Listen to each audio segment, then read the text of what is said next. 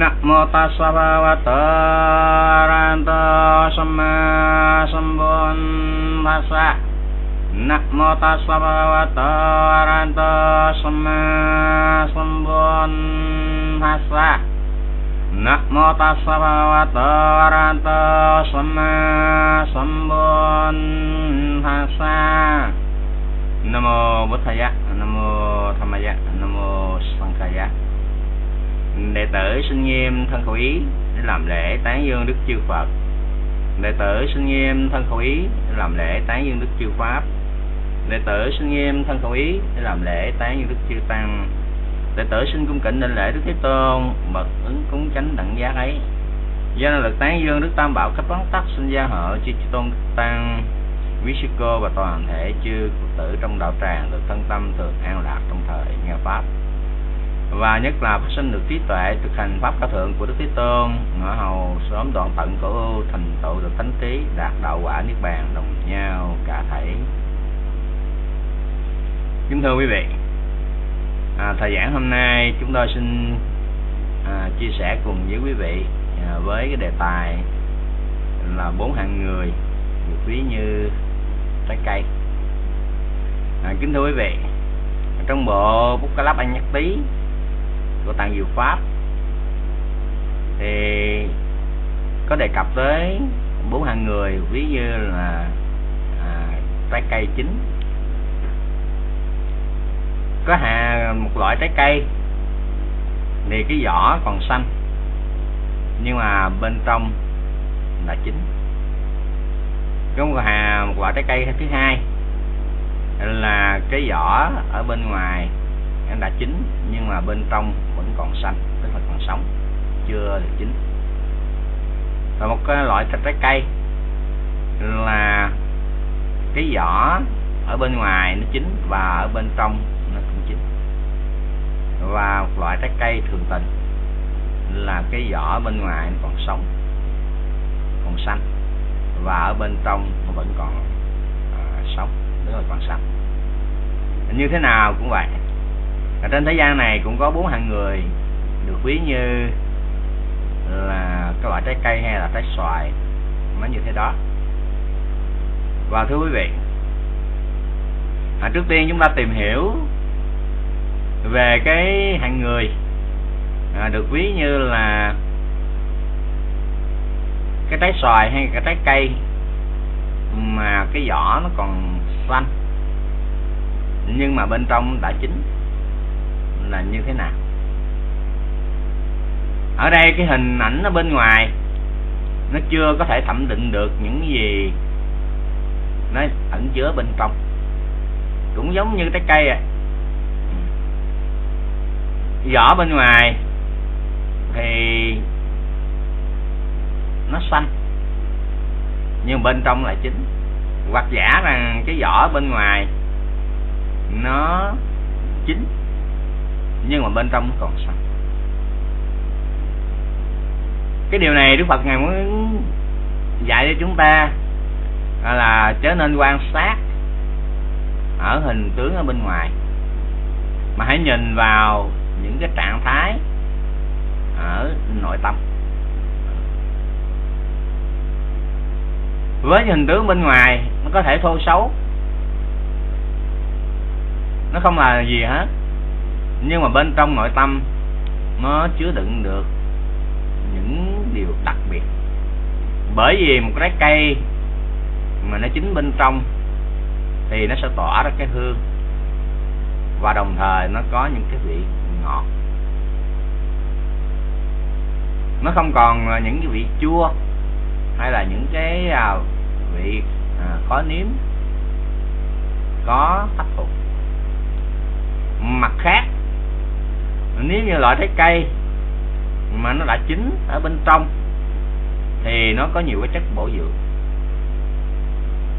Nó sẽ đem lại những chất bổ dưỡng cho những người có sức khỏe hoặc là chất bổ dưỡng cho cái người già.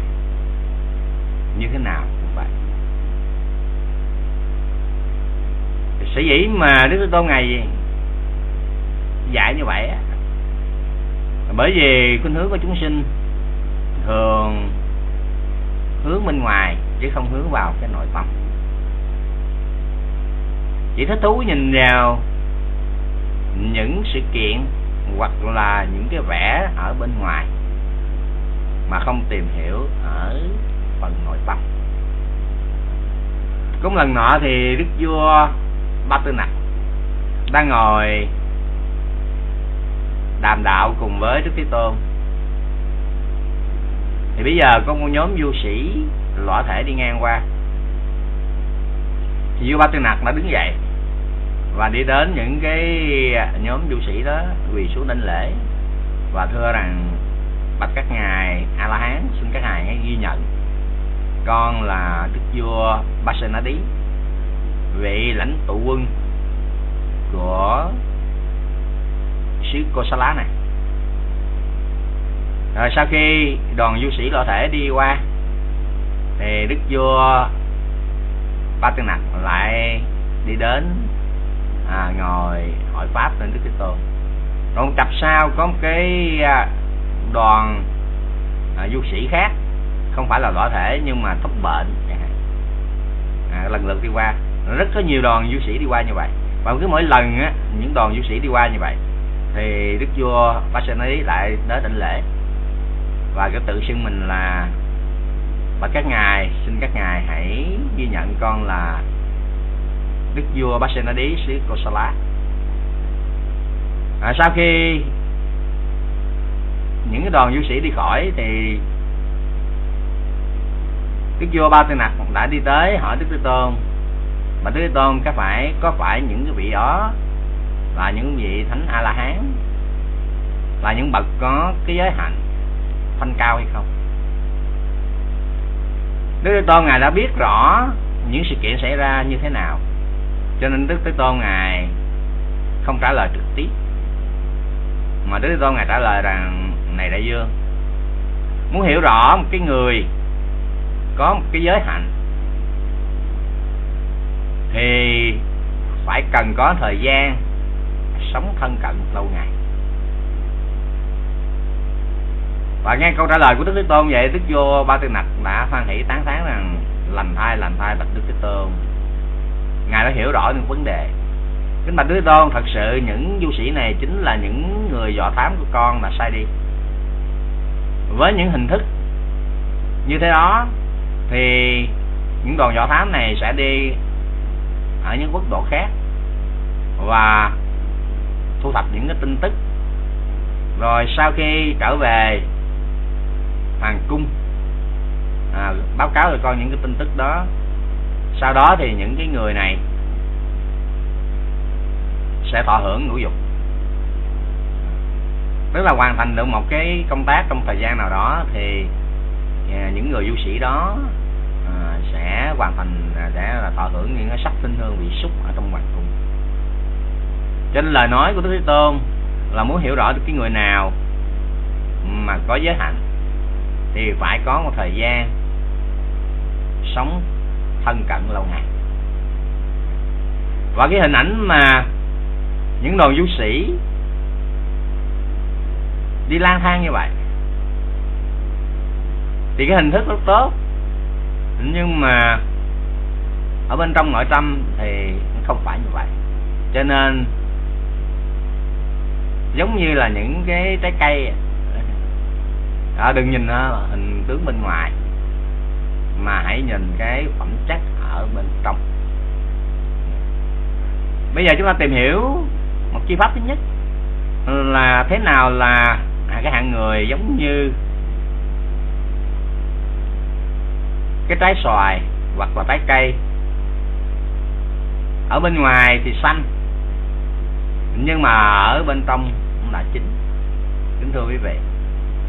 Có nghĩa rằng Phật nhìn thì những cái trái cây này hoặc là những cái trái xoài này nó có vẻ như là còn non. Nhưng mà khi mà tìm hiểu thì mới thấy rằng những cái, cái à, loại trái cây này hoặc là những cái trái xoài này nó đã chín ở bên trong. Ý nghĩa này muốn nói rằng có những cái chúng sanh mới sanh ra thậm chí có những chúng sanh còn nằm trong cái thai bào, hoặc có những cái chúng sanh với cái tuổi còn ấu thơ, hoặc là những chúng sanh với cái tuổi còn thiếu niên. Nhưng mà bên trong ở nội phần, ở bên trong của những vị ấy, nó đã chứa đựng một cái gì đó có thể là chứa đựng một cái tiềm năng đạo quả hoặc là có một cái tiềm năng rất đặc biệt. Mà điển hình á, cho chúng ta thấy là khi mà bà Sari tức là mẹ của ngài Xá Lợi Phất bà Sari có một cái người em tức là xuất gia làm du sĩ. Cái chữ du sĩ đây á, cho chúng ta hiểu rằng là những vị này xuất gia nhưng mà sẽ đi lang thang từ làng này sang làng khác từ thành phố này sang thành phố khác. Để làm gì? Thứ nhất là để học tập thứ hai là để tranh biện với nhau. Và tất cả những du sĩ thường thường là tranh biện để tìm ra à, những cái chân lý của vấn đề. Nhưng mà những cái chân lý của những vấn đề của những du sĩ đó nó dựa trên một cái sự suy luận. Nó dựa trên một cái sự tưởng tượng hoặc là dựa trên một cái sự chứng đắc hạn hẹp nào đó. Nó chưa thông suốt. Ở cho nên danh từ du sĩ tức là cái hạng xuất gia nhưng mà thường thường đi à, tranh biện với nhau. À, tức là thời đó có những cái luận nghị đường ở những cái thành phố lớn. Và những du sĩ đó thường thường thách đấu với nhau tức là đấu pháp với nhau ở giữa đại chúng. À, để xem ai là người có thật à, có cái uh, lý thuyết hoặc là có những cái quan điểm đúng đắn và cao thâm. Mình xin thưa quý vị rằng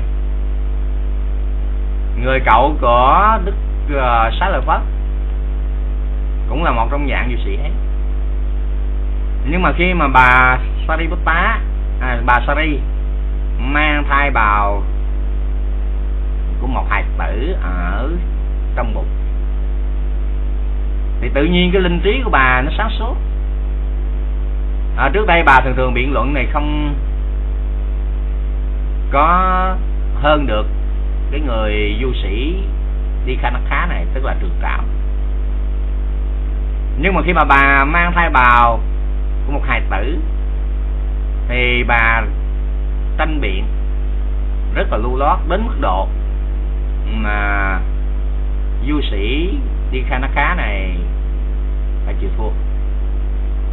Và khi mà du sĩ đi Kanaka này chịu thua, mới suy ngẫm rằng do cái nguyên nhân nào mà bà Sari này lại có khả năng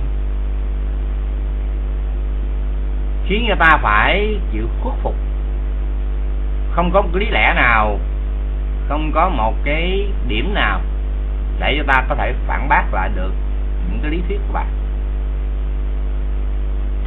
Thì với một cái sự thông minh của du sĩ, thì du sĩ mới hỏi rằng này bà sorry chẳng hay có phải bà đang mang thai chăng? Thì bà Sari mới đáp rằng à, thật vậy, ta là người đang mang thai. Thì bây giờ du sĩ đi khai nó cá nó ngẫm nghĩ rằng ngay cả một cái hài tử còn đang nằm trong thai bào, mà với cái phước của cái hài tử này, với cái sự thông minh của hài tử này, mà ta không thể biện luận được, vậy ta phải đi tìm hiểu thêm. Ta phải đi góp nhặt thêm những cái kiến thức mới có hy vọng sau này đánh bại cái gã hài tử đang nằm trong thai bào của bà Sadi này. Và du sĩ đi khai ná cá đã, đã ra đi. Và chúng ta nhớ rằng khi mà đức à, uh, sái la phất quy ngưỡng ở trong giáo pháp này thì khi mà nghe đức sái la phất mà quy ngưỡng trong giáo pháp này thì du sĩ đi khai nát cá à, đi kha nắc phá này du sĩ trường trạo này. Mới ngẫm nghĩ rằng giáo pháp này rất là đặc biệt. Cho nên chỉ một cái hài tử mà ngày xưa còn nằm ở trong bụng mẹ có cái khả năng làm cho ta phải bị thúc thủ. Mà chịu quy phục giáo pháp này thì giáo pháp này có một nát rất là đặc biệt. Cho nên sau khi mà đức uh, xá lợi phất ngài xuất gia trong giáo pháp này khoảng nửa tháng sau thì khi mà nghe tin như vậy thì chính du sĩ đi Khanaka đã đi tới tìm hỏi pháp đức thế tôn. Và nhân đó đức thế tôn ngài đã giảng lên bài kinh đa thọ. Cũng từ cái bài kinh đa thọ này đã giúp cho du sĩ trường rảo chứng quả dự lưu.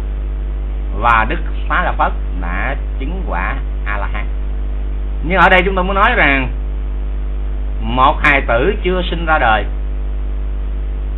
mà có một cái tiềm năng đặc biệt về cái trí. Có thể làm cho một cái người đã xuất gia trở thành du sĩ phải thúc thủ trước cái sự biện luận của mình. Vì sao vậy? Thưa quý vị, chúng ta nhớ lại rằng cái bồ tát của chúng ta đó có ba cái thời kỳ được gọi là đầy đủ sự ghi nhận. Ừ, hay là sự chú ý. Tức là bồ tát chúng ta có đầy đủ sự ghi nhận khi nhập thai bào. Tức là ngài tái sanh vào thai bào vào lòng mẹ đó ngài có sự ghi nhận rõ. Ừ, tức là bồ tát chánh đẳng giá chúng ta đó. Rồi ngài trú trong thai, thai bào ngài cũng vẫn có cái sự chú ý hay là sự ghi nhận. Và ngài ra khỏi thai bào ngài cũng có cái sự chú ý hay là ghi nhận.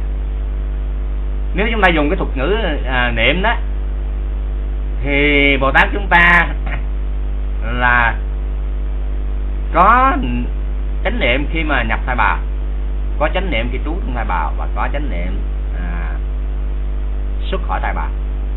Chúng tôi dùng chữ chánh nó không có có, có có đúng lắm nhưng mà tạm thời chúng ta hiểu như vậy rồi bồ tát thuộc về độc giác phật hay là thượng thủ chinh văn thì có hai thời kỳ. Một thời kỳ á, là nhập thai bào là có sự ghi nhận biết rõ. Thời kỳ thứ hai là trú trong thai bào có sự ghi nhận biết rõ. Nhưng mà xuất khỏi thai bào thì không biết. Và những vị thánh a la hán thì chỉ có một thời kỳ là khi nhập vào trong thai bào thì biết rõ còn hai thời kỳ trú trong thai bào và xuất thai bào thì không biết rõ. Vì đức xá lợi phất là một thượng thủ thinh văn. Cho nên, khi còn ở trong thai bào, ngài có hai thời kỳ. Một là nhập thai bào, là biết rõ. Và trú trong thai bào, biết rõ. Do trú trong thai bào biết rõ, cái trí của vị thượng thủ thinh văn, tuy rằng chưa phải là thượng thủ tinh văn nhưng mà cái tiềm năng của cái trí đó nó đã hiển lộ qua và trợ giúp cho bà à, à, Sari để mà biện luận mà thắng được du sĩ đi Khanaka thực tại có nghĩa là cái người này chưa có xuất hiện trong thế gian này nhưng mà nó có những cái biểu hiện để cho thấy rằng có một cái tiềm năng đặc biệt như vậy. Nếu chúng ta thêm một cái à, một cái thời gian khác nữa thì có những cậu bé mà tạm thời chúng ta gọi là những thần đồng có một cái năng lực rất là đặc biệt mà kỳ diệu. À, nó tiềm ẩn ở bên trong. Như điển hình như bồ tát chúng ta khi mà hành hạnh trí tuệ chẳng hạn bạn ngài có tên là maha à, mahosatha sở dĩ ngài có tên là mahosatha bởi vì khi ngài sanh ra, trên tay ngài cầm một cái rễ cây để trị bệnh cho cha ngài là 7 năm. 7 năm. Và mới sinh ra thì ngài đã nói với người mẹ rằng, thưa mẹ, đây là thuốc trị bệnh cho cha. Xin mẹ hãy dùng thuốc này để trị bệnh cho cha. Và khi mà mài cái rễ cây đó cho người chồng uống thì người chồng hết bệnh đầu. Cho nên từ cái nhân sự kiện đó trên đứa bé mới sanh ra được đặt tên là Maho Safa Maho từ cái chữ là Maha là đại lớn. Ô Safa là thuốc trị bệnh. Có thể má Maho sa có thể chúng ta dịch là đại lương y cũng được hoặc là à, đại à, dược liệu cũng được hay là dược phẩm cũng như cái chữ Ubo phá mà chúng ta thường âm là Bố Tát đó nó chữ là Ú Bá Ú Bá là gần. Nó cộng cho ô sa phá ô sa phá có nghĩa là cái thuốc trị bệnh. Và cái ngày mà bắt quan trai giới là cái ngày gần với cái thuốc trị bệnh. Thì bệnh gì? Thì bệnh tham thì bệnh sân thì bệnh si chẳng hạn. Rất là gần gũi với cái thuốc trị bệnh đó. Chúng ta âm là bố tát thì khi mà ngài còn trẻ đó đã nổi tiếng là một cái thần đồng về thông minh. Ngài đã trị à, đã giải quyết những cái vấn đề mà người lớn không giải quyết được. Nhưng có lần nọ, một người nữ ẩm đứa con đi tắm trên bờ sông. Thì bây giờ có một dạ soi đi ngang qua đó, thấy đứa bé đó nó hóa ra một cái người nữ khác. Bắt lấy đứa bé. Thì người nữ là mẹ ruột của đứa bé đang tắm với dòng sông, thấy con mình bị người khác bắt. Cho nên mới trở lên mới giành giật nó đây là con của tôi, tại sao là nàng bắt lấy. Thì cái người người nữ này nói đây là con của tôi. Hai người này là tranh giành đứa bé là con của mình. Nhưng mà không ai chịu nhường ai hết thì đưa ra phân xử những người lớn là cũng không biết là phải giải quyết ra sao. Tại vì người nào cũng nói mình là mẹ của đứa bé này hết. Thì bây giờ bồ tát ma ha à, ma Hô sa phá đã đi tới và ngài giải quyết vấn đề rất là gọn và chính xác. Ngài mới nói rằng nó ai cũng à, hai người nữ này ai cũng dành là là mẹ của đứa bé này hết. Vậy thì mỗi người cầm lấy một cánh tay và một cánh chân của đứa bé. Và ráng sức giành giật, nếu người nào giành giật được, thì người đó sẽ là mẹ của đứa bé ấy. Thì nghe vậy hai người người nữ cùng nắm lấy đứa bé dằn giật. Và đứa bé đau quá khóc lên, thì cái người mẹ ruột buông bỏ buông bỏ. À. cái bồ tát hỏi, vì sao mà bà buông bỏ đứa bé này. Thì người mẹ ruột mới nói rằng tôi không nỡ thấy đứa con của tôi bị đau khổ. Tôi thôi nhường cho bà này là mẹ của đứa bé. Nghe nói vậy thì bồ tát phán quyết rằng chính người nữ này mới thật sự là mẹ. Bởi vì người mẹ không bao giờ muốn cho đứa con mình nó bị đau khổ. Còn trái lại, những người không phải là mẹ thì mặc cho đứa bé nó đau khổ nó kêu khóc mà không có xúc động tự tập. đó là những cái mẫu chuyện mà nói về bồ tát, Maho Sattva, tu tập về cái hạnh trí tuệ. Nhưng mà tới đây cũng hay chưa? Chưa đủ. Cái hạng người mà ở bên ngoài nó giống như trái cây, nó màu xanh. Ở bên trong nó chín. Là cái hạng người này là tuy rằng tuổi trẻ nhưng mà ở bên trong đó, ở trong nội tâm người đó thành đạt được những gì cần thành đạt. Và có những cái pháp thường nhân. Mà điển hình như chúng ta thấy là trong thời đức phật á, có những vị sa di chỉ 7 tuổi thôi. Và được Đức thế tôn ngài ban cho cái địa vị là trưởng lão thera đó là ngài Somaka và để cho chính thức được có cái danh hiệu là Thera tức là một cái vị tỳ khưu mười hạ. Nó từ mười hạ được rồi Đức Thế Tôn ngài phán dạy hỏi nhà hỏi pháp của vị sa di này này sa di, pháp nào có một mà không hai? Mà Đức Thế Tôn, đó là chúng sanh duy tồn do Phật thực. Này sa di, pháp nào có hai mà không ba? Mà Đức Thế Tôn nói chính là danh và sắc. Này sa di pháp nào có ba mà không bốn?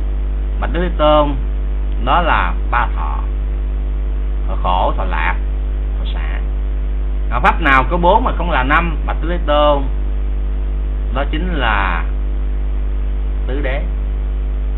Pháp nào có năm mà không có sáu? Bạch tứ tôn đó là ngũ quẩn vân vân và sau khi trả lời những câu hỏi của đức phật thì đức phật ngài tán thán, cứ mỗi lời ngài tán thán, lành thai lành thai ngài này sa di, người đã trả lời đúng pháp. Và dứt cái bài kinh đó thì đức thế tôn ngài ban cho ngài Somaka mới 7 tuổi đầu. Có địa vị là Thera là vị, như một vị tỳ khưu có 10 hạ trở lên đây là cái hạng người mà chúng ta có thể thấy rằng ngoài xanh nhưng bên trong là chích. Ngoài xanh. Mặc dù còn là một thiếu niên, bên ngoài là một thiếu niên 7 tuổi, tóc còn xanh, mắt còn đen nhánh đây một cái tuổi trẻ tốt đẹp, còn đang ở trạng thái phát triển. Nhưng mà bên trong là trở thành một bậc thánh a la hán. Nó không phải vậy hoặc là một, vị sa di thứ hai, cũng 7 tuổi, mà được đức thế tôn, ngài cũng ban cho cái địa vị Thera đó là sa di Sumana, đệ tử của ngài Anuruddha. Bởi vì ngài Sumana xuất gia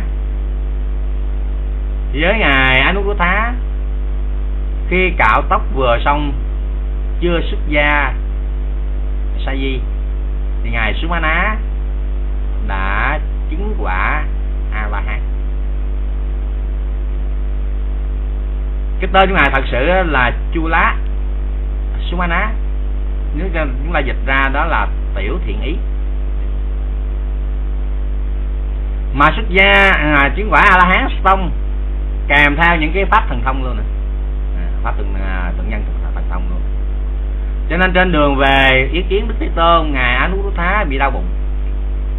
Cho nên vị thị giả này tức là sa di sumana này mới bạch thầy bạch thầy khi thầy đau bụng vậy thì thầy dùng loại thuốc chi? Này con khi mà ta đau bụng vậy thì ta phải dùng loại nước ở hồ Anotatta tức là vô nhiệt trì ở trên núi tuyết, uống thì sẽ hết. Và bạch ngài con sẽ đi lấy nước cho ngài. Ở này con, ở trên đó có một long dương canh giữ cái hồ rất là hung hăng, con chế nên kinh thường. Thì ngài Sumana nó bạch, đức à, bạch ngài à, thầy, đừng nói về một long vương, mà hàng trăm long vương như vậy con vẫn thu phục được. Và với thân hình nhỏ nhắn, ngài không thể ôm cái bát được, ngài phải đeo cái bát ở trên à, trên lưng đeo trên vai ngài phóng lên, trên hư không. Và đi tới hồ Anotapa quả thật, trên hồ đó có một con long vương. Và khi mình đi tới đó, con long vương, nó thấy có một người tới, nó hiện lên. Nó hỏi, này, ông sa di, ông tới đây làm gì?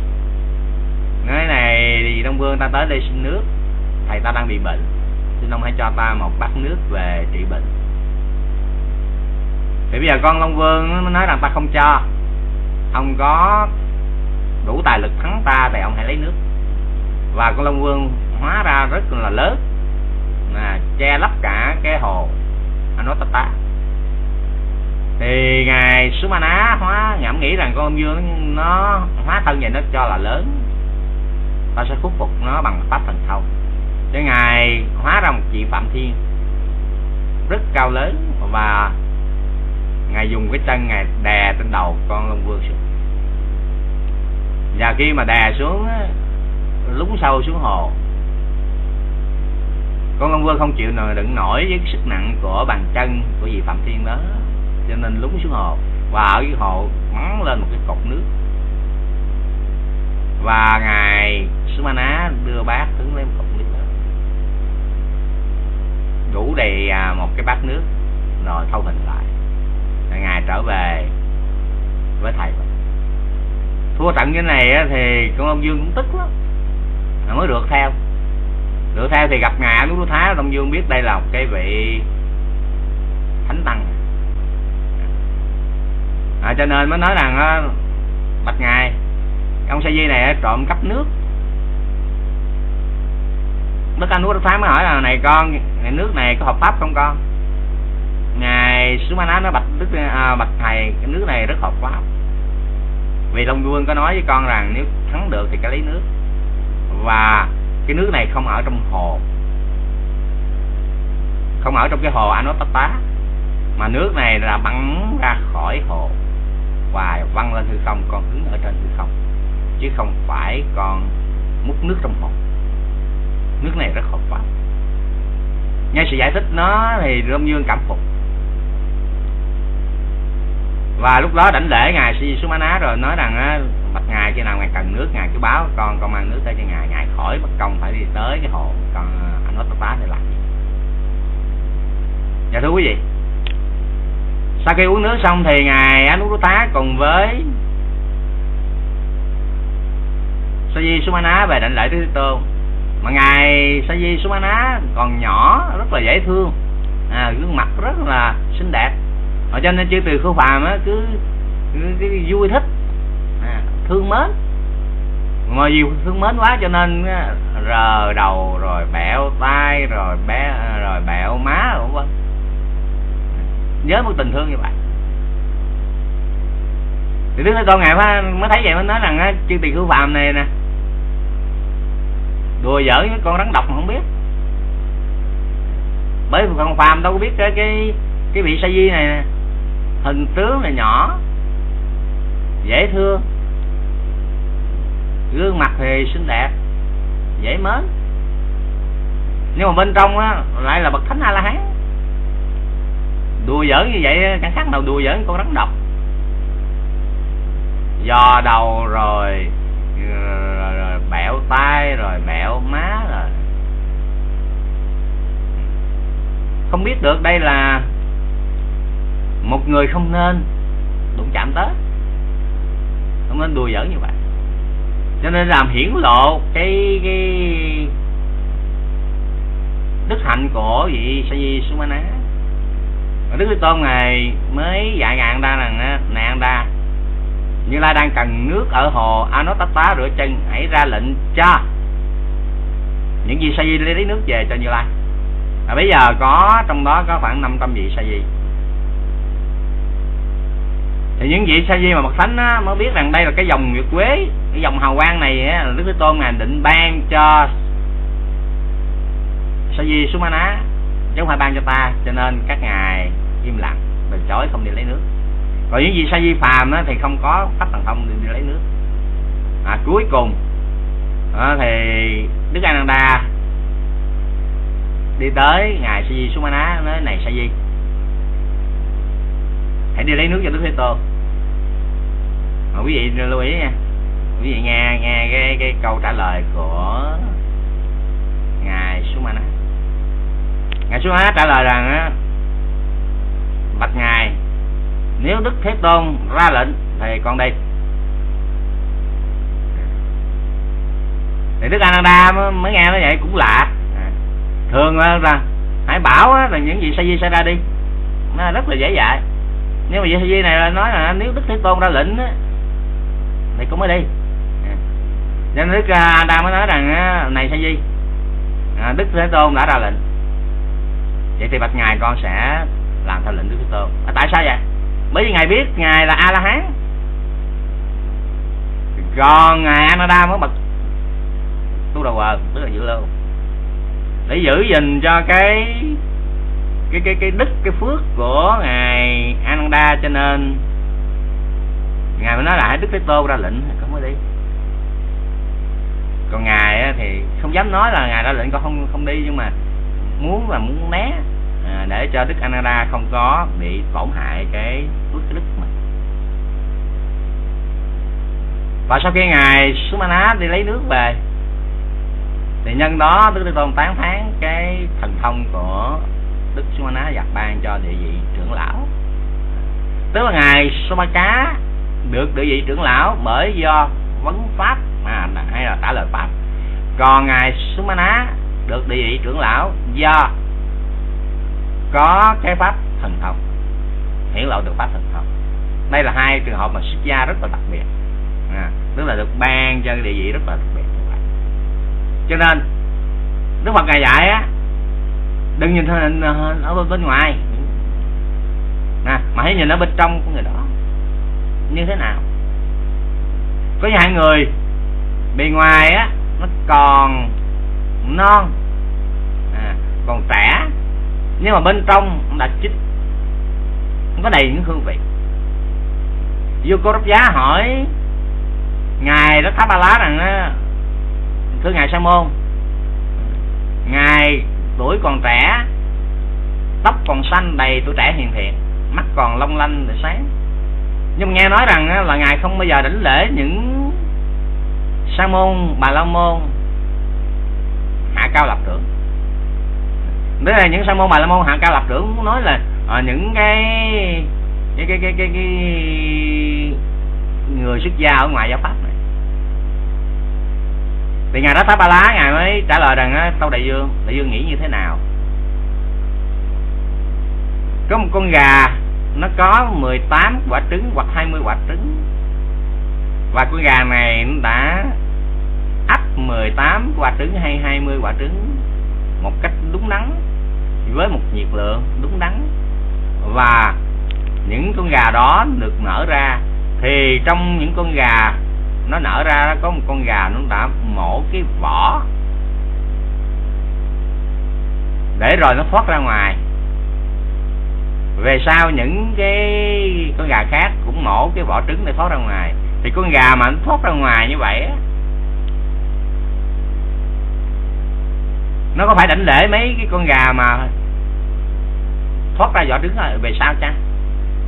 À, đức vua nói vậy không? Bởi vì á, con gà mà nó thoát ra trước vậy nó là anh. Là những con gà mà thoát ra sau là em không phải đảnh lễ. Như thế nào cũng vậy này đại dương. Đức thế tôn ngài xuất hiện thế gian này. Ngài giảng về đây là khổ đây là nguyên nhân sanh khổ đây là sự diệt khổ đây là con đường đưa tới sự diệt khổ và những cái chúng sanh hành theo pháp của đức thế tôn thực hiện à, pháp của đức thế tôn đã phá vỡ đi cái vỏ trứng vô minh. Nó thành đạt được cứu cánh là không còn phải à, sinh tử luân hồi nữa. Thì cái người này cứ nên đảnh lễ những cái người mà không phải hay là chưa chứng đạt được. Cái bậc thánh tức là chưa phá vỡ được cho minh hay không? Đức vua cô đáp giá nói dạ không. Nhưng mà ở đây chúng ta cũng không có nên không nên gây, gây, ga à, cũng như chúng ta quá khe khắc đến mức độ mà bị bị ràng buộc chúng tôi nói rằng đối với vị thánh thì được mà thánh a la hán thì không đảnh lễ những người dị giáo. Nhưng mà những vị thánh ở trong giáo pháp này sẽ đảnh lễ ai? À. mặc dù vị thánh a la hán ngay ở trong giáo pháp này sẽ đảnh lễ những bậc đồng phạm hạnh, cao hạ hơn mình. Bởi vì đức phật ngài dạy rằng là cái vị tỳ khưu mà thấp hạ phải đến lễ gì tỳ khưu cao hạ. Không kể bậc thánh. Bởi sao? Bởi bậc thánh nằm phía bên trong. Không ai biết được cái vị này là bậc thánh hay không bậc thánh được. Chỉ trừ bậc thánh mới hiểu được bậc thánh. Chứ phàm nhân thì không thể hiểu được bậc thánh. Mà cái hạ lạp thì nó rõ ràng hơn. Hạ lạp rõ ràng 10 hạ 11 hạ 12 hạ 15 hạ 20 hạ, vân vân thì rõ ràng hơn. À. cho nên vị thì khu ở trong giáo pháp này sẽ cung kính lẫn nhau bởi hạ lạp chứ không phải do cái phẩm vị bậc tánh nữa. À, chúng ta phải lưu ý điều này. À. ừ, nhưng mà nếu là còn phàm nhân với nhau chúng ta sẽ tôn kính lẫn nhau. À, thì tôn kính một cái sự tiếp đãi lẫn nhau. Bằng những câu hỏi hiền thiện. Và trong cái thời pháp mà chúng tôi cũng à, cũng trình bày gì à, với quý vị á, là có bảy pháp mà không đưa rơi xuống mà bị bị rơi xuống trong đó có cái pháp gọi là à, cung kính trong sự tiếp đãi lẫn nhau tức là chào hỏi nhau với tính cách thân hữu mà la phàm nhân với nhau. Chưa đạt được cái mức độ bậc thánh thì chúng ta hãy tỏ một cái tình thân ái một cái tình hòa hợp với nhau. Nó có gì đâu. Chúng ta còn là những cái người đang trên đường đi đang thực tập những cái pháp của Đức Kitô. Nó hầu đạt được những cứu cánh thầm hạnh. À, chúng ta không có không có nên bị một cái cái cái cái sự ràng buộc mà xét ra không nên bị ràng buộc. Tức là có nhiều khi nói là là hãy ngoại giáo chúng ta không nên chào hỏi. Chúng ta vẫn chào hỏi bình thường. Nhưng mà chào hỏi như thế nào? Chào hỏi bằng tính chất thân hữu. Nó không phải là khe khách chỉ ờ, những bậc thánh mới có thể nói được câu đó là con gà nó phá vỡ được cái vỏ trứng để mà thoát ra ngoài. Thì chúng ta là những con gà còn nằm ở trong trứng. Sợ thật sự ra cũng sợ chưa có tượng hình được nữa. Để đi làm cách nào mà để phá vỡ được cái vỏ trứng của mình đây? Và chúng ta không có nên, không có nên một cách à, ngã mạn như vậy. Tức là không có tự hào bao giờ chưa đạt được tới cứu cánh phạm hạnh tức là chưa thành tựu được đạo quả a la hán thì không nên tự hào bất kỳ một điều gì. Và chúng ta sẽ sống một cách hài hòa với nhau. Sống một cách thân hữu với nhau. À, nó là một cái điều rất tốt cho chúng ta. À, và thú vị đây cái hạng người thứ nhất. À, tức là bề ngoài á, thì xanh nhưng mà bên trong á về chính cái hai người thứ hai là cái bề ngoài đó, chính. Như cái vỏ cây á, bề ngoài chính, nhưng mà bên trong nó còn sạch à, là có những cái vị ừ, hoặc nhìn bề ngoài á, thì rất là nghiêm trang, đạo mạo là đứng tuổi là những cái người có kinh nghiệm cuộc sống. Dường như là xuất gia lâu năm. Nhưng mà thực tế thì vậy đó mới xuất gia thôi. Thực tế mới xuất gia thôi. Và chúng ta thấy rằng ở trong giáo pháp này rất mở rộng. Tuổi trẻ cũng có thể xuất gia được. 7 tuổi đủ để xuất gia. 20 tuổi xuất gia tỳ khưu được. Thậm chí bốn năm mươi tuổi cũng có thể xuất gia tỳ khưu được. Mà nhưng mà đặc biệt là những cái vị mà chúng ta gọi là bán thế xuất gia đó. Tức là không phải xuất gia từ nhỏ tức là có gia đình à, có con. Rồi một lúc nào đó hiểu được giáo pháp này thấy đời là biển khổ đời vui ít mà khổ nhiều là xuất gia trong giáo pháp này. Và thưa quý vị rằng có những người mà xuất gia trong giáo pháp này bởi vì lớn tuổi cho nên nó cũng còn cái bản ngã thì sao? Bản ngã thì sao? Mình mới xuất gia. Mà sợ là phật tử nghĩ là mình mới xuất gia. Rồi không có cung kính không có tôn trọng rồi cũng không có à, quan hỷ với mình. Cho nên ngồi á thì phải ngồi trước. Bất kể cái ông đó là cao hạ hơn mình đi đi lấn trước. À, lấn trước. Bất kể cái vị đó mặc dù tuổi trẻ nhưng mà cao hạng mà, mình mà đặc biệt là để né tránh cái trường hợp này nữa. Né tránh trường hợp này. Thì những cái vị đó thường thường rất thích rất thích đi chung với những cái vị trưởng lão đó giống như thị giả nhưng mà không phải đi dựa hơi. À, tại vì ví dụ như đi với một vị đại trưởng lão nào đó thì người ta đảnh lễ gì đại trưởng lão. Thì vậy nó đứng cây kế bên đó. Thì dĩ nhiên cái cái cái cái cái vị à, mà đảnh lễ gì đại trưởng lão đó là biết rõ. À, nhưng mà phật tử là không biết tưởng là cái cái cái cái cái vị à, mà mà tỳ khưu mà đánh lễ đánh lễ chung nè đó là một cách thức không nên. Vậy hạng người này á mới xuất gia như vậy tuy rằng là tuổi tác cao. À, cái bề ngoài có vẻ giống như là một cái người đã từng trải ở trong giáo pháp này. Nhưng mà thật sự mới cái thân tướng không là gì hết. Mà mà chạy theo những cái cung kính cái lợi đắc thì đức phật ngày à, dạy rằng cái người nào mà chạy theo cái cung kính cái lợi đắc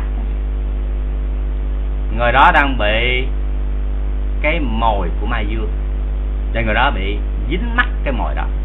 Mà điều này nằm ở trong tương ưng kinh. Cái phẩm gọi là tương ưng lợi đắc cung kính. Và cái những những cái gì mà bán thế xuất gia này đó, không thấy được điều này. Bởi sao vậy? Bởi vì ít nghe bởi vì không hiểu mà nếu mà cái người này mà biết khiêm cung giống như ngài Arafat xuất gia chút về già vậy nhưng mà rất là dễ dàng. Đến mức độ mà sau khi thành đạt đạo quả a la hán rồi á, thì được đức thế tôn ban cho cái địa vị là trong nhóm tỳ khu của như lai. Thì ra phá là đệ nhất về cái hạnh dễ dạy ngài rất lớn tuổi ừ, xuất gia độ cũng khoảng bảy tám chục tuổi mới xuất gia mới được xuất gia chứ không phải mới chịu xuất gia. Chịu xuất gia lâu rồi. Nhưng mà chư từ khôn nó già rồi, không không cho xuất gia. Đợi khi đức thế tôn, ngài thấy duyên lành tới mới hỏi rằng, có ai là cái người thọ ơn ông bà la môn ra tá này không? Thì chỉ có đức xá lợi phất và đức xá lợi phất làm gì là thầy tế độ của ngài ra phá và ngài ra phá rất là khiêm cung và tỏ ra là người nhu thuận, dễ dãi. Thời gian ngắn sau, chứng quả a la hán và được đức tôn ban cho địa vị là đệ nhất là hạnh dễ dạy trong hàng tỳ khu của như lai. Đấy. cái hàng cái hàng người mà giống như là cái trái cây cái vỏ nó chín nhưng mà bên trong nó nó, nó, nó còn sống nó còn xanh. Ở bên ngoài thì những gì là trưởng lão đi đứng cũng điềm đạm đó nhưng bên trong không có gì hết như trường hợp ngày tích xá nha, là em chú bác với bồ tát của chúng ta. Mới xuất gia rồi đó, mà thân thể thì đẩy đà. Y thì được dằn nếp cho láng. Và thường ngồi ở giữa cái giảng đường giống như một vị pháp tọa à, vị pháp sư ngồi trên pháp tọa. Chứ những cái chư tỳ khưu à, khách đi tới à, tưởng là vị đại trưởng lão đi tới chào hỏi xong ông cũng ngồi im lặng điềm nhiên. Họ nhận cái sự đảnh lễ của chư tỳ khưu ở quy sa. Rồi chư tỳ khưu cũng thực hiện cái pháp của mình. À, tức là vị nhỏ hạ sẽ à, phục vụ vị lớn hạ bằng cách là đấm bóp cho vị đó. Rồi hỏi han đạo pháp. À, mới hỏi là bạch ngài ngài tu bao lâu rồi? Nói này cái hiền giả tôi mới tu à. Ờ, chưa có hạ nào hết. Ờ, Nó chưa thì khưu mới mới mới khiển trách. Là ông mới về tu mà ông ngồi ở, ở giữa cái giảng đường này như là một vị à, trưởng lão ấy. mà chưa thì khưu đảnh lễ ông cũng điềm nhiên ông nhận. Rồi chưa thì khưu mà à, cao hạng đấm bóp ông ông cũng điềm nhiên ông nhận. Như vậy là ông không có xứng đáng trong pháp cứ nghĩ mình là ngài tới sáng cứ nghĩ mình là em, chú bác với đức thế tôn, cho nên chắc đức thế tôn binh mình. Ngồi miếu máu mà khóc đi tới. Nói bạch đức thế tôn chưa thì khưu kia, mắng con đức tôn hỏi ra nguyên nhân rồi, đức tôn ngày mới khiển trách nữa. Điều đó không đúng. À tức là có những hạng người mà bề ngoài nó xanh như vậy, nhưng bên trong không có gì hết. Lại nữa, chứ có hạng người bề ngoài nó cũng tốt đẹp. Cái cái đại khái là cũng tu lâu năm. Chứ không phải là nhỏ đâu. À. Bây giờ chúng tôi nó, nó trình bày với vậy là những vị tỳ khưu mà, mà mà bán thế xuất gia tức là có lập gia đình rồi xuất gia đã đành rồi. Có những vị mà tu tập rất lâu. Tức là chưa có gia đình mà những người tu tập. Những tu tập. À, xuất gia trong giáo pháp này. Và cũng trải qua một thời gian rất là lâu. Có thể trên 20 hạ cũng có. Chẳng hạn như vậy. Ở xin thưa là chúng ta không muốn ám chỉ ai hết nhưng chúng tôi xin trình bày về cái cái cái cái cái đề tài thôi. Nhưng mà những vị này á, tuy là lâu hạ lạp có. Nhưng mà không có học về luật không có học về pháp. Không có thực hành những cái à, pháp thiền nếu có chăng cũng chỉ có một cách lấy lệ một cách à, cho có. Chứ không phải là nhiệt tình ở trong cái à, pháp của mình. Học luật cũng không chỉ học phất phớt học pháp cũng học phất phớt thực hành pháp cũng phất phớt. Thì khi hỏi pháp phật tử hỏi pháp à thì có nhiều khi nói theo ý nghĩ của mình. Chúng tôi thuộc cho quý vị còn có gì trưởng lão. Chuyện là chuyện có thật nha. Dạ. Thì có một phật tử hỏi vị trưởng lão đó, hỏi chứ bạch ngài vậy chứ dạ, đi hành hương là sao? Vậy là nói, đi hành hương là đi chùa hương. Trả lời cho bà hỏi chúng tôi ngồi đó nghe. Cũng không biết phải phải phải phải nói sao sau đó chúng tôi giải thích đi hành hương có nghĩa là đi đến những cái thánh tích hoặc là những cái ngôi chùa để mà tạo những cái phước. Chứ không phải là đi chùa hương. Có những cái, cái, những cái vấn đề thật là đơn giản như vậy. Nhưng mà mình không nắm bắt được thì những vị trưởng những vị như vậy được gọi là cái người ví như trái xoài hay là ví như trái cây bên ngoài thì vàng chính. Nhưng bên trong thì còn sống. Quý vị nhớ rằng một cái à, đức phật ngài dạy rằng cái vị mà cho xuất gia tỳ khưu á vậy đó ngoài 10 hạ trở lên. Vậy đó không phải am tường gì nữa. Phải biết tội nặng là tội nặng biết tội nhẹ là tội nhẹ. Biết biết phạm tội là phạm tội không phạm tội là không phạm tội. Hoặc là phải biết được tâm tâm sở sắc pháp niết bàn. À, để phân định được cái tâm này như thế nào phạm mà tâm nào à, không phạm. Tức là cái giá trị của pháp học là như vậy giá trị của cái pháp hành đã đặc biệt rồi mà giá trị của pháp học cũng không phải là không là, là, là à, không quan trọng. Cũng rất là đặc biệt. Một lần nọ thì đức ananda đa bậc thánh dữ lâu có cái trí tuệ nhưng mà chỉ nhầm lẫn và một, một chút xíu. Và đến khiến cho ngài ách chúa ná phải yêu cầu triệu tập tăng chúng lại để xử à, à, à, để, để để để phán xử về cái việc làm của ngài ách chúa ná ở trong tạng luật có ghi nhận à, trong cái cái phần à, trộm cắp đó, à, có ghi nhận câu chuyện như sao là ngài Achuna có một cái người trưởng giả hộ độ. Và người trưởng giả này có một người con và một người cháu. Một người cháu có vị trưởng giả này là cái người mà tính tâm nơi tam bảo. Thường tạo phước là nơi đức phật, đức pháp, đức tăng. Riêng người con thì hư hỏng, bê tha à, không lo chú tâm vào trong những cái việc à, gia đình. À, tức là nói cách khác là một một người con mà có cái beta beta phóng đảng như chúng ta dùng những từ vậy do vậy hiểu. Thì cái vị trưởng giả này sau khi mà sắp sửa mệnh chung mới nói với ngài ách chú ná rằng á, bạch ngài tôi có một người con và một người cháu.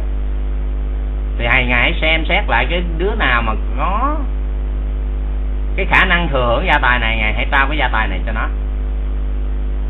Nói xong thì ông trưởng giả đó ông bệnh chung sau khi đám tán à, làm được hoàn tất thì ngài chú ná mới quan sát thấy là người cháu là người chăm chỉ trong cái công việc làm ăn tức là biết gìn giữ cái tài sản của người chú hay người bác của mình. Và có cái niềm tin nơi tam bảo mà thật sự như vậy, thưa quý vị, cái người mà có niềm tin ở tam bảo á, thường thường lánh xa bốn cái cửa bại dông. Bốn cửa bại dông. Thứ nhất là không đi vào cờ bạc, bởi vì cờ bạc là một cái cửa bại dông. Không đi vào tủ sắt, tức là rượu và những cô gái. Thứ ba là không giao du với bạn sống. Giao du bạn sống. Đó là cái cửa đi vào làm tổn hại tài sản và thứ tư là không có lãng phí cái tài sản kiếm được. Thì ngài Achuna quan sát thấy người cháu là cái người mà không có đi vào bốn cửa bại bông này làm cho tổn thất tài sản này lại là cái người có cái niềm tin ở tam bảo. Trái lại người con là cái người mà bê tha phóng đạn. Cho nên ngài ngài Achuna mới trao cái tài sản này đến cho cái người cháu nhưng mà làm sao có thể hài lòng được với sự kiện tài sản của mình mà bị trao cho người khác? Cho nên người con mới đi tới đèn với đức an đa. Mới trình đức an đa là bạch ngài. Bạch ngài. Thông thường á, sau khi mà cái người cha mất á, cái tài sản này á được trao về cho ai? Cho người con hay cho người cháu? Đức an đa mới nói là thì trao thì cho người con thì cái cái ngài cái, cái người con nói vậy mà bạch ngài cha con mất mà tài sản của con á, thì, thì tưởng lão ách chú ná là trao lại cho người cháu. Thì đức Adam mới nói là vậy thì không được. À, chỉ có nhiêu đó thôi. Chưa dám không thấm quyết là như thế nào nha. Thì nghe nó vậy á, là ngài ách chú ná mới nói là này hiền giả ông ta vậy thì hãy triệu tập tăng chúng để mà xử lý hay là giải quyết cái vấn đề này. Bởi sao vậy? Bởi vì do đây đây là thuộc về giới trộm cắp đó, thưa quý vị.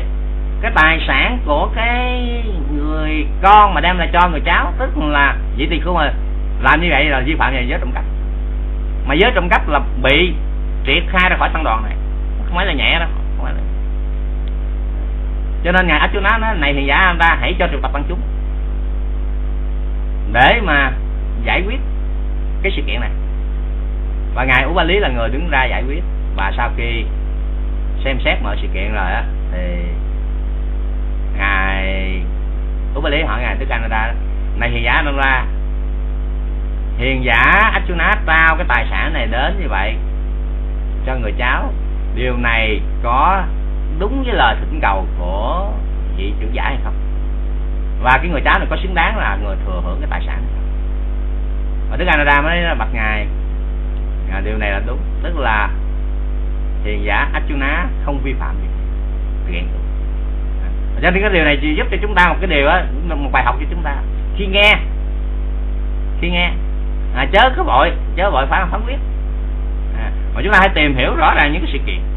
Nếu không thôi mình cứ theo một cái thói quen của cuộc đời. Mình theo một cái khuynh hướng của cuộc đời. Rồi mình phán quyết liền thì đôi khi mình cũng sẽ bị ân hận. Nếu hay không? À, tức là vô tình. Nhưng mà cũng dạy cho chúng ta một bài học rằng khi nghe để yên đó. Chậm mà chắc. Còn hơn nhanh chóng mà nó bị hỏng thì nó cũng không có à, được tốt đẹp. Nhưng mà trở lại vấn đề chúng ta nói rằng là với những cái vị trưởng lão lâu năm ở trong giáo pháp này thì phải làm sao cho những vị trưởng lão. Danh từ trưởng lão đáng là vị trưởng lão. Tức là mặc dù rằng mình chưa phải là chứng đắc được đạo, đạo quả chưa thể phá vỡ được cái vỏ của vô minh. Nhưng mà giáo pháp này đức phật nói là có chất bổ dưỡng cho có có là giáo pháp này là là, là những giọt sữa cho trẻ sơ sinh. Những chất bổ dưỡng cho người khỏe mạnh và những à, những cái chất à, nuôi dưỡng những người già. Thì giáo pháp này cung ứng cho tất cả mọi hạng người như vậy. Thì chúng ta làm sao cho xứng cái cái cái cái cái tiếng tưởng làm để chi vậy? Để để để người phật tử chúng ta có phát sinh niềm tin đó những vị thật à, những vị mà xuất gia trong giáo pháp này những bậc trưởng lão là cái ngài am tường tất cả những cái pháp. Ngài hiểu biết được những cái pháp nào đưa đến tốt đẹp ngài ngài hiểu biết được cái pháp nào đưa xuống thối đọa ngài dạy chúng ta tránh xa những cái pháp mà đưa xuống thối đọa và hướng dẫn chúng ta những cái pháp mà đưa lên à, những lời tốt đẹp. Chúng ta thí dụ như vậy nha chúng ta đừng bao giờ nhìn hình à, ở, ở bên ngoài. Đừng nhìn ở bên ngoài. Thông thường thì những người phật tử của chúng ta đó. À, yêu thích những cái quả lành đúng. Mà mỗi khi mà chúng ta yêu thích những cái quả lành đó, đó thì là chúng ta bị dính bẫy của ma dương quý vị làm việc phước mà quý vị ao ước được sanh làm thiên hậu được sanh làm tiểu thơ được sanh làm à, là hoàng hậu vân vân hay làm vua làm quan làm chư thiên. Thì tất cả những cái đó là cái bẫy mồi của ma, ma vương. Làm phước chúng ta sẽ hưởng được cái quả này. Chúng ta chắc chắn như vậy. Mỗi khi cái quả này nó trổ chúng ta sẽ hưởng được như vậy. Nhưng mà nếu còn dính mắt trong đó thì vẫn còn bị mắt mồi của ma vương. Cũng giống như con cá nó phải gặm được cái mồi thơm thì nó phải dính vô trong cái lưỡi cầu. Đức Phật ngày dạy nè, Như Lai không hề tán thán bất kỳ một sinh hữu nào, Cho dù chỉ là chút ít, Cũng giống như Phật. Nói là chút ít. À. Nó vẫn hôi như thật Phận tuy chút ít nhưng mà vẫn hôi thối. Như thế nào vậy, Như Lai không bao giờ tán thán bất kỳ một sinh hữu nào, Dù là chỉ là chút ít. À. Rồi thấy nhưng đem cái quả phước đó mà dẫn dụ cho hàng phật tử tạo phước. Nó không phải là sai rất tốt. Nhưng mà làm thế nào cho phật tử hiểu được rằng cái quả, quả phước đó vẫn luôn luôn bị vô thường? Nó luôn luôn dẫn tới đau khổ. Để biết rằng có bởi phải biết được có nhân của quả là có nhưng mà sẽ không bám víu vào nó. À, để mà từ đó để tạo một cái bước thang hoặc là một cái nấc thang hoặc là một cái nền tảng để đi lên. Đi lên như thế nào? Đi lên để phá vỡ được cái vỏ trứng. Của cái trứng gà đó. Phá vỡ được của mình. Chứ không bám víu nữa một cái vườn hoa dù có nhiều kỳ hoa dị thảo hay chăng nữa, mà cứ mãi đứng nhìn những kỳ hoa dị thảo vậy thì người đó sẽ không đi tới cái mục đích của mình. Không đi tới mục tiêu của mình biết phải biết bỏ qua những cái dược hoa đầy kỳ hoa dị thảo đó thì người này mới có thể đi tới cái điểm đến của mình. Như thế nào cũng vậy. Quả lành của người làm thiện tất nhiên phải có khi cái việc thiện này nó cho quả. Nhưng làm thế nào cho người phật tử chúng ta đừng có bám víu. Đó cái việc làm cần thiết nhất. Nhưng mà cứ gặp bảo là cứ cứ cứ, cứ có một số vị giảng sư á cứ khuyến khích phật tử làm phước rồi đưa ra những quả lành, khiến cho những người phật tử chúng ta nghe như vậy á, hoan hỷ quả phước đó. Nhưng mà không ngờ rằng trong đó nó còn một cái đầu tư, cái tham ái nằm trong đó. Tôi làm phước để kiếp sau tôi được cái này, tôi làm phước để kiếp sau tôi được cái kia, tôi làm phước để kiếp sau tôi được làm vua, tôi làm phước để kiếp sau tôi làm hoàng hậu, tôi làm phước để kiếp sau tôi làm thiên hậu. Của vân té ra mình làm phước vậy để đầu tư của tham ái.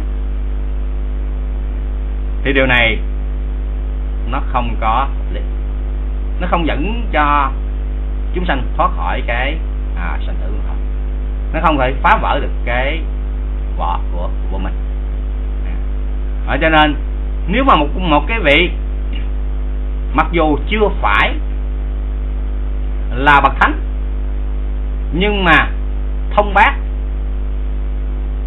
đa văn hiểu nhiều thì cũng sẽ giúp ích đó là đỡ cho chúng sanh rất là nhiều à, giúp cho chúng sanh cái người mà có trí tìm đạo, nắm bắt từ nền tảng vượt lên.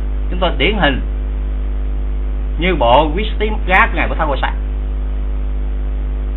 Ngài của Thác Qua Sát chưa hẳn đã là cái vị thánh khi ngài viết cái bộ Wisdom Gap đó, tức là bộ thanh đạo.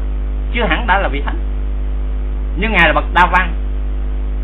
Từ bốn câu kệ, người có trí trú giới, tu tập tâm và tuệ nhiệt tâm vào thận trọng vị tỳ khưu ly trì. Từ bốn câu à, bốn câu cậy ngon này mà đức mời với thái quan xá triển khai thành bộ thanh đạo mà bây giờ bộ thanh tịnh đạo gần như là à, sách gối đầu nằm của à, chư tăng thầy nguyên thủy. Gần như là như vậy.